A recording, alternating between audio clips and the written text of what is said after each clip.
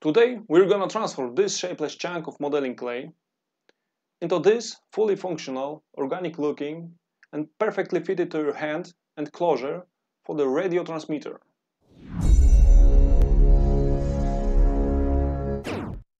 To be honest, this RC transmitter is just an excuse for me to talk about designing this kind of natural looking enclosure for any device. Seriously, any device would do. Be it computer mouse, a gamepad or maybe something wearable. I needed such an NRF24L chip based controller for my next project. So I'm gonna use it as an example to tell you how you can create something like that yourself. And because I don't like to be theoretical, I'll demonstrate the whole process to you step by step on this actual device. All the software we're gonna use today is free of charge, so all you need is a camera, the one on the phone will do, a PC and access to a 3D printer. I also assume that you're gonna be able to install all the necessary software yourself without my help. I've put the links to all of it in the description. However, if you need my help, let me know in the comment section, or if you prefer, write me an email. And one last thing before we get started. This topic is quite extensive, so I decided to divide it into two parts. In the first part, this one, we're gonna create the case itself. In the second one, we'll do everything else. The schematic, PCB and all the mechanical elements. Okay, there's a lot to cover, so let's get started. The keyword for today is photogrammetry. It's a method of creating 3D models of physical objects from photographic images. This isn't a new technology. In fact, it's pretty old. The first documented use dates back to year 1858. I guess it was some building in Paris. If you search the internet today, you would find plenty of articles and videos about photogrammetry. Technology has progressed so much in the last few years that nowadays you can do it yourself at home without having to have a computer from NASA.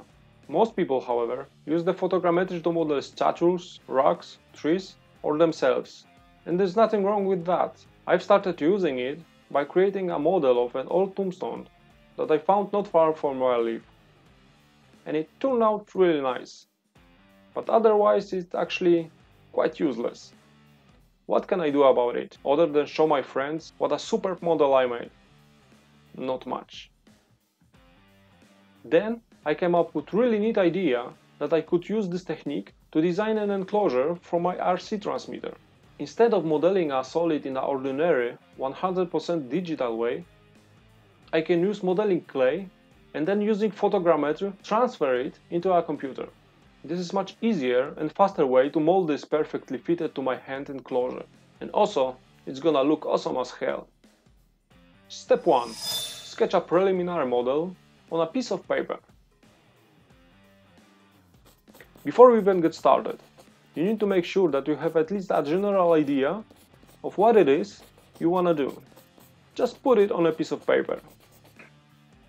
And seriously, don't skip this step. You'll thank me later. This is a good moment to consider what you really want from your device, what functions should it have, and what components it must contain. In my case, it's gonna be a joystick, two potentiometers for acceleration and calibration, and a battery box. The bigger components are the most important because you have to estimate how much space you need. The smaller ones should fit in between. Step 2. Create these components in Fusion 360.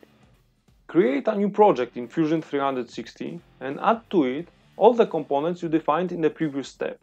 Now, it would be good if you knew exactly what components you want to use. You can check your favorite electronics store to see what is available and what best suits your project. If you are going to use commonly used elements, you might find them ready-made models on grabcad.com. If not, you might need to draw them by yourself. Step 3. Arrange these components in Fusion 360 workspace. Following your paper sketch, place the components more or less where you want them to be on your device. I'm gonna place the joystick somewhere in the front for easy access with my thumb. The first potentiometer around here and the second one on the back of the device because I'm not gonna use it frequently. And the battery box somewhere in the middle.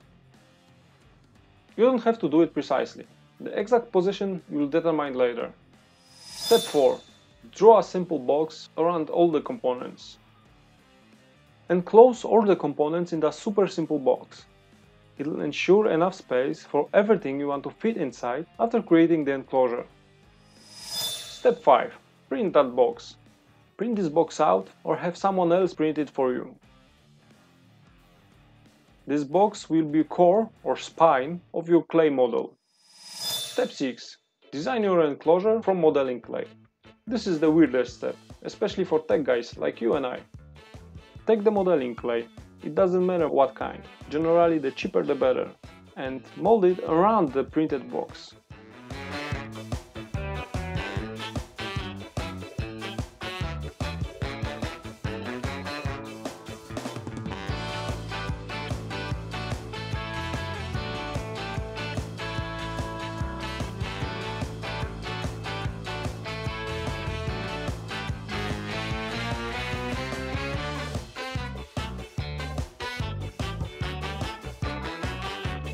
Take your time.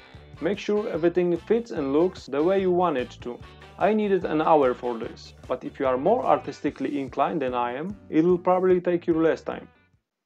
Step 7. Add some texture.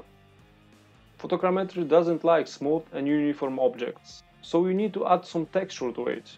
I've tried different approaches from mixing a modeling clay with a sawdust to spraying it with a colored paint. And by far the easiest way to do this is to use a marker. And of course, as you may have guessed, the color of the marker should differ from the color of the clay. Go crazy with the dots and dashes. Step 8. Optional. Take a white sheet of paper on which you put your model.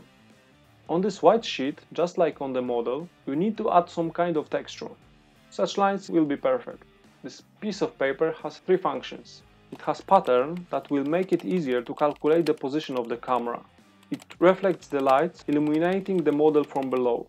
It has a no dimension, so it will make it easier to scale the model afterwards. Step 9. Put the model on the easily accessible place. You should take a lot of photos on each side of the model. Therefore, it should be placed somewhere where there's enough space around. You can put it a little higher, so you have better access from below. A stool in the center of the room would be a good choice but use whatever you had at hand. I'll use an old lampstand with a piece of board instead of a lamp. Speaking of which, step 10. Provide good lighting. This is the most crucial element. Without proper light, you won't get good, if any, results. The light should be soft, uniform, and constant when taking the photos. The outdoors, on a cloudy day, provides the best lighting for photogrammetry. But if that's not option for you, don't worry, you can do it at home as well. If that's the case, use more than one source of light.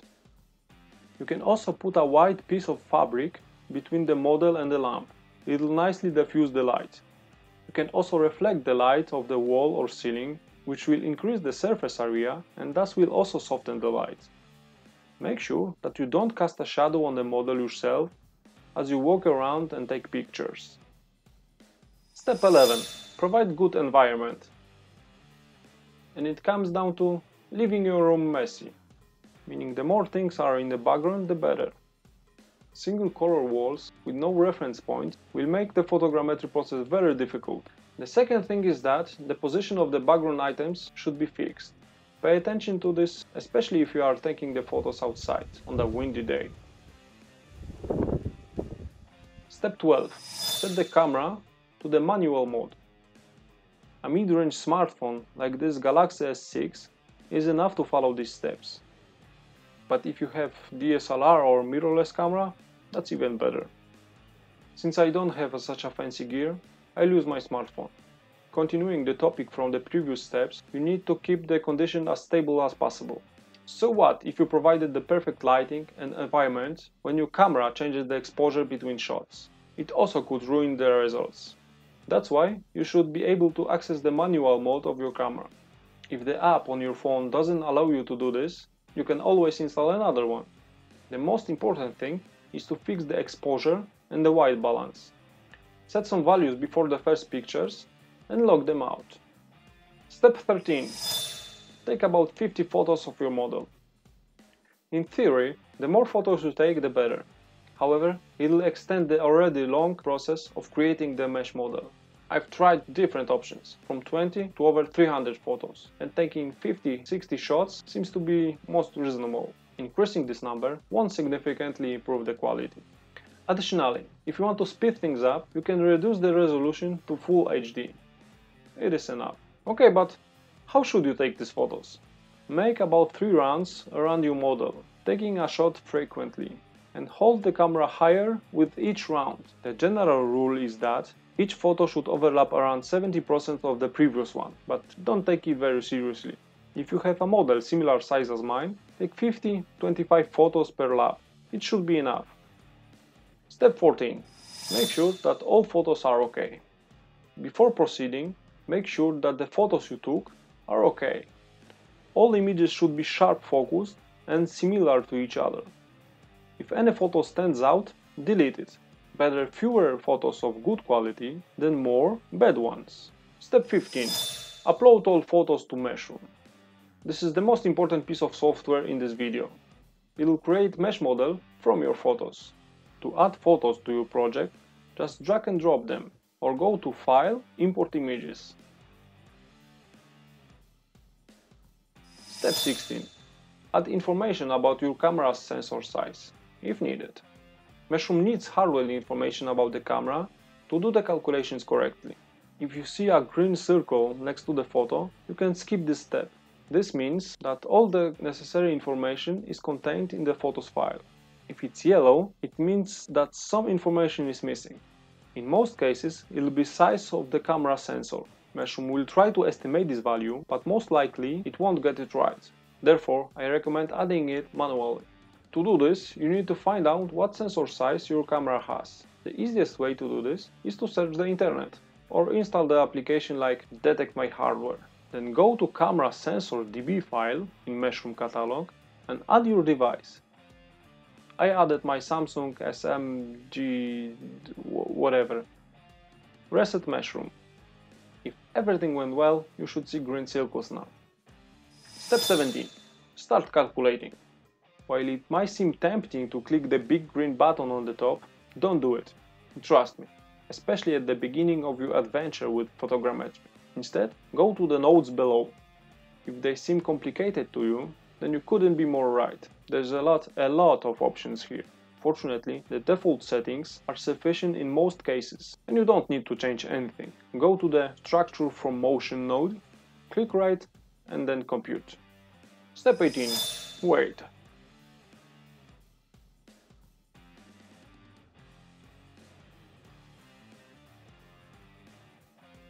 Since you have break anyway, click the like button if you find my video useful. Thanks. Step 19. Evaluate the initial results. Up to this point, the process has been relatively fast, and if something has gone wrong, you should be able to see it. In the 3D viewer, you're gonna see the initial effect of your scan and all the camera positions. If something looks wrong at this stage, stop the process. It would be a waste of time. It's better to make sure that everything is okay with the photos you've uploaded. On the other hand, if everything seems okay, you can continue. Right-click on the texturing node and compute. Step 20. Wait some more, or even better, go out for lunch. Step 21. Optional. Clean and repair the mesh file in the Meshmixer. This is an optional but highly recommended step. The generated mesh could have a couple million of faces, and Fusion 360 doesn't like such a big objects. That's why I recommend using Meshmixer first. It is also Autodesk software and it's completely free. In Meshmixer, you can clean, repair and smooth your mesh. You can do a lot more, but the rest will be more convenient to do in Fusion. I know the texture look weird, and honestly I have no idea why. But it doesn't matter anyway. The first step is the turning them off completely. Then cut out all the rubbish around the model. Leave a sheet of paper. You're gonna need it to scale the model.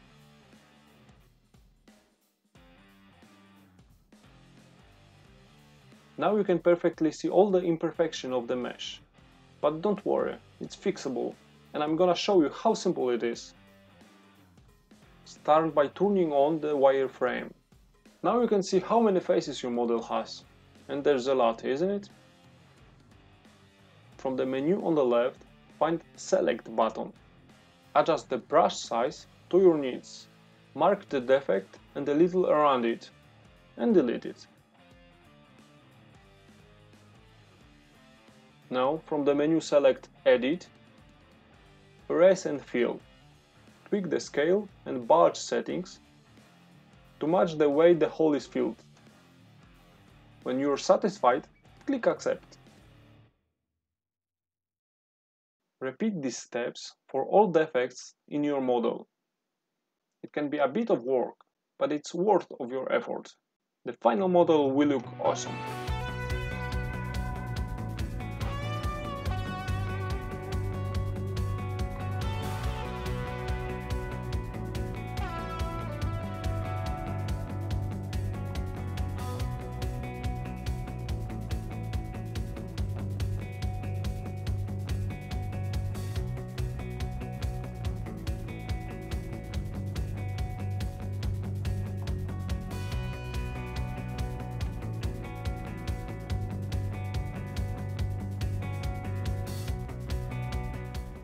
As a final touch, you can globally smooth the entire model.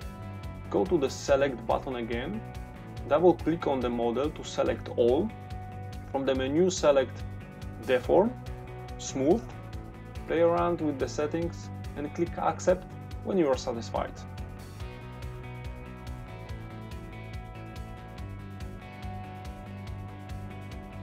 And here's the model in all its glory.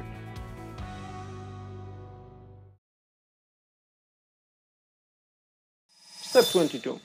Import the mesh file into Fusion 360. To import a mesh into Fusion 360, create a new document. If you want, you can use the file you've already created. However, to modify mesh, you need to disable Design Capture History, which is super helpful in the classic design method. So after creating new document, right click on the project name and find Do not capture design history and click it. Then go to Preferences, Preview Features, and make sure that the Mesh Workspace checkbox is selected. Now you should see that the Mesh tab has appeared. But before you go there, import your fixed and smoothed model. Insert, Insert Mesh.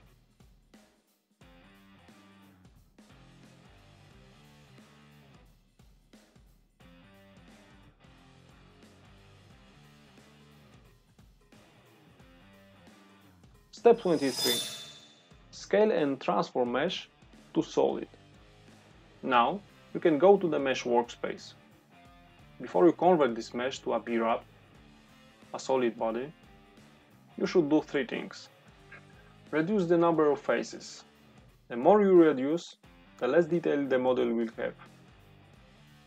The upper limit allowed by Fusion is around 50k, but I made it a lot smaller anyway because my computer isn't the newest anymore. Scale it to actual dimension.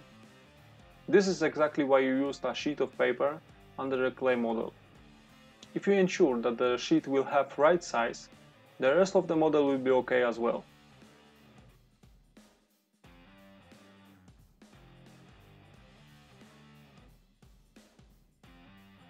Cut off the part you no longer need using the plane cut tool.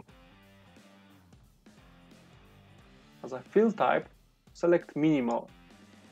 Thanks to this, you will get an almost flat surface, which is helpful to print that model.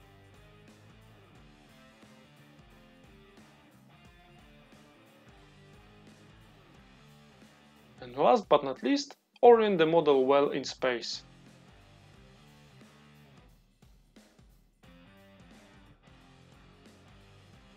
Think how long it would have taken if you had wanted to design it in classic way. Of course assuming that's even feasible. Let me know in the comments what enclosure you would, or you will, design using this modeling clay technique. I'm very curious. On my website is a text version of this guide. If you prefer text instead of video, you can find the link below. In the next video we're gonna design the buttons, the trigger, pack all the electronics inside and program the microcontroller. So if you don't want to miss it out, subscribe to my channel.